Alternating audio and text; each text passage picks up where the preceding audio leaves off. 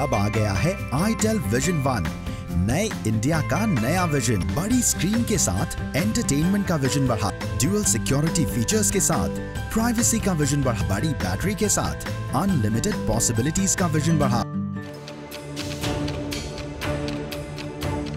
लखीमपुर खीरी में एक महिला के साथ फर्जी लूट की खबर से हड़कंप मच गया।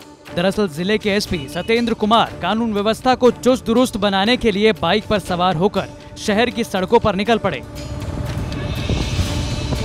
उन्होंने एक व्यक्ति द्वारा डायल 112 पर एक महिला के साथ चेन लूटकर भाग रहे बदमाशों की खबर अपनी गाड़ी और अपना हुलिया बताते हुए दिया, जिसके बाद एसपी साहब अपने पीआरओ के साथ बाइक से सुनसान सड़क पर निकल पड़े।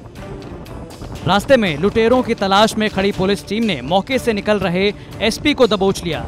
इतना ही नहीं, इसके बाद भी एसपी ने अपनी पहचान नहीं बताई।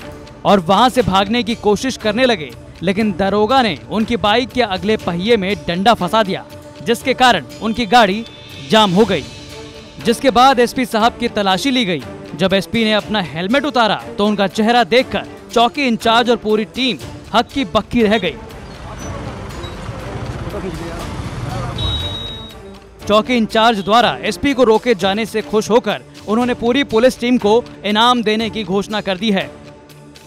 क्या किस तरह से एक फर्जी लूट की सूचना प्रसारित की गई कि चार अज्ञात लुटेरे दो बिना नंबर की बाइक पे एक महिला की चैन लूट कर भागे भागे हैं।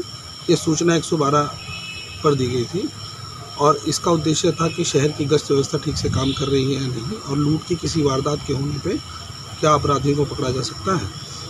इसमें डॉन बोस्को के पास जो तिराहा पड़ता है, वहाँ पे एक चौकी इंचार्ज और दो कांस्टेबल, एक होम गार्ड, उन्होंने हम लोग को पकड़ लिया। उसके बाद शहर में अन्य स्थानों पर भ्रमण किया गया।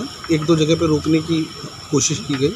इस पूरी कवायद में ये पुलिस को की गश्त व्यवस्था को चुस्त दुरुस्त रखने और चोर या लुटेरों को जो पकड़ने की जो एक योजना होती है, उसका हम लोग चेक कर रहे थे। कुछ जगहों पे पाया गया कि गश्त व्यवस्था बहुत अच्छी नहीं है। उन सभी संबंधित थाना प्रभारियों और चौकी इंचार्जों से हम स्पष्टीकरण तलब करेंगे, जिन्होंने हम लोगों को पकड़ा, उनको इनाम की घोषणा फ़िलहाल इस घटना की चर्चा पूरे शहर में हो रही है।